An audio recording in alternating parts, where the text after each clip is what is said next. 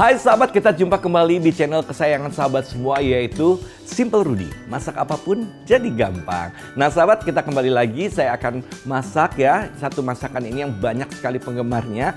Ini biasanya kalau kita memakan masakan ini itu mantep banget rasanya ya. Entah itu pakai telur, pakai ayam, pakai ikan, tempe, tahu, semuanya juga bisa. Saat ini saya akan memasaknya dengan telur yaitu balado telur. Sahabat, kalau merasa resep ini bermanfaat jangan lupa di subscribe, like, share, komen, dan tekan tombol loncengnya. Ini penting banget kalau kita mengupload resep yang baru, sahabat orang pertama yang tahu. Semua bahannya sudah siap, langsung aja kita memasak ya sahabat ya. Kita ambil blender, kita masukkan 2 siung bawang putih, 8 buah bawang merah, 1 buah tomat,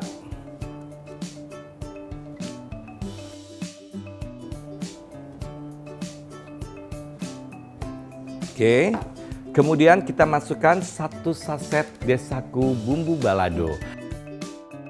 Jadi ikut dihaluskan bersama bawang putih, kemudian tomat ya.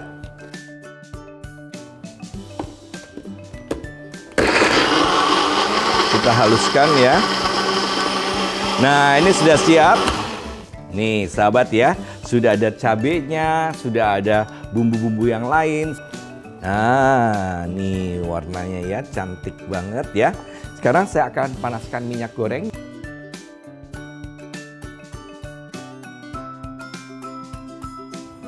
Kita panaskan dengan api sedang.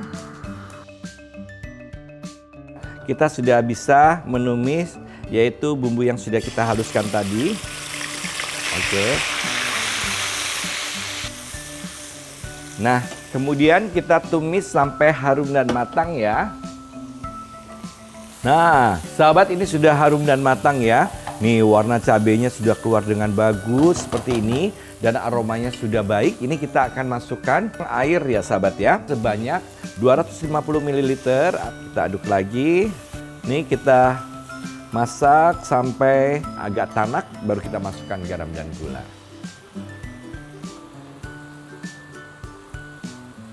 Nah ini sudah reduce-nya sudah cukup ya sahabat ya. Nanti saya masukkan telurnya aduk-aduk pas 30%. Saya mau di 30% saja ya. Kita masukkan garam ini sebanyak setengah sendok teh. Gula pasirnya satu sendok makan. Ini kita aduk sampai larut ya. Warnanya menjadi lebih cantik lagi ya sahabat ya. Nah ini sudah larut, sudah bagus. Kita masukkan telurnya. 10 butir telur rebus ya. Nah ini sahabat bisa masukkan tempe tahu, ayam. Nah kali ini saya memasaknya dengan telur rebus ya. Kemudian ini kita aduk rata sampai tertutup dengan bumbu sebentar.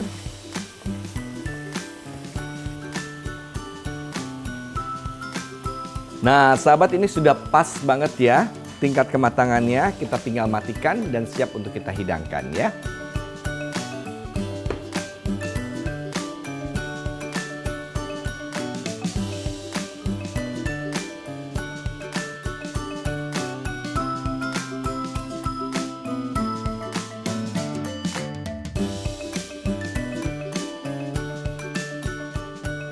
Nah, sahabat sudah selesai yaitu telur baladonya. Mudahkan sekarang membuat telur balado dengan desaku memasak balado menjadi sangat praktis. Simple Rudy, masak apa pun jadi gampang.